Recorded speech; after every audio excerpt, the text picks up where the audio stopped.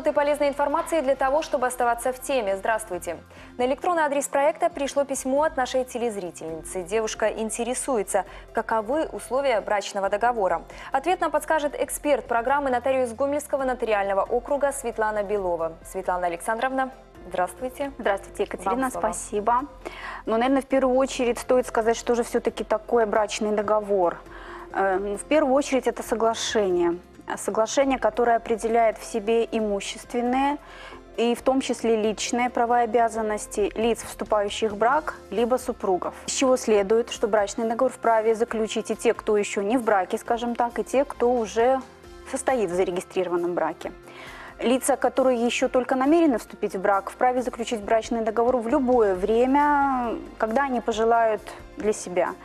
Супруги вправе заключить брачный договор период нахождения в браке.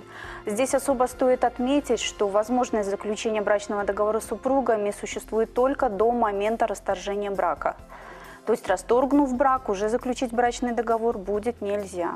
Давайте, наверное, немножко поговорим еще о форме брачного договора. То есть он должен быть совершен обязательно в письменной форме и обязательно удостоверен нотариально.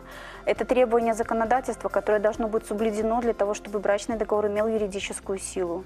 То есть брачный договор может быть удостоверен нотариусом любой нотариальной конторы, независимо от места жительства граждан и места нахождения имущества. Вступит в силу брачный договор в отношении супругов э, со дня его нотариального удостоверения. Э, В отношении лиц, которые только намерены заключить брак, брачный договор вступит со дня регистрации их брака официально э, органами регистрации актов гражданского состояния. То есть это опять-таки обязательное требование закона. Если брачный договор содержит в себе условия в э, относительно недвижимого имущества, то этот брачный договор также нужно будет зарегистрировать э, в органе государственной регистрации прав на недвижимое имущество. Э, Брачный договор предоставляет широкие возможности определения прав и обязанностей. Э, В первую очередь он позволяет отступить от права общей совместной собственности супругов и определить иной режим имущества супругов. То есть определить какие-то иные доли, э, иные, чем равные, либо определить, какое имущество каждый из супругов в результате получит. Речь может идти о том имуществе, которое уже приобретено супругами, а также о том имуществе, которое будет приобретено в дальнейшем. Брачный договор может определить судьбу всего имущества, каких-то отдельных его видов, то есть, предположим, недвижимого имущества, либо движимого, предположим, транспортных средств.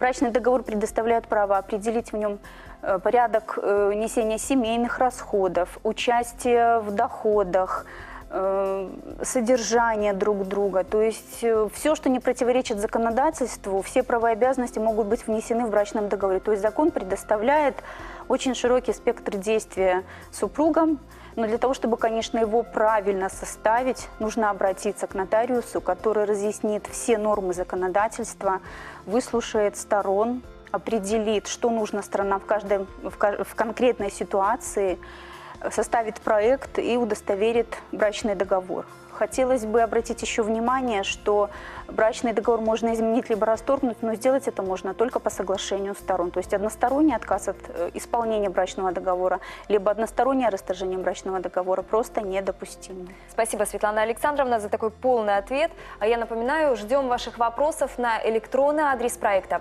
Оставайтесь с нами и будьте в теме.